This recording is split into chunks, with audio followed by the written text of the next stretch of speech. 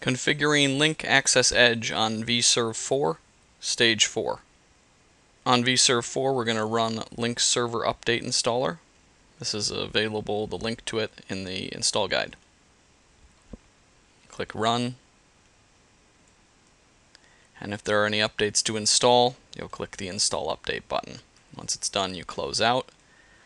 When you do those changes, you want to go to services.msc stop each of the services.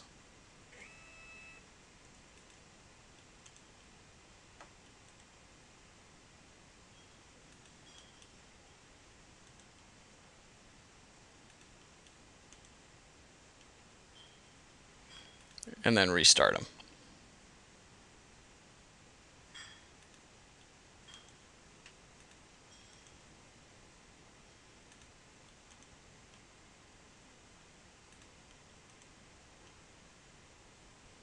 At this point, we're ready to test from an outside machine. So in the screen, I've got a local version of Lync running. I've specified administrator at macroconnect.co.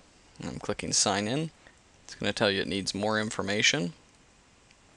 Type in macroconnect slash administrator and the admin password. Click sign in.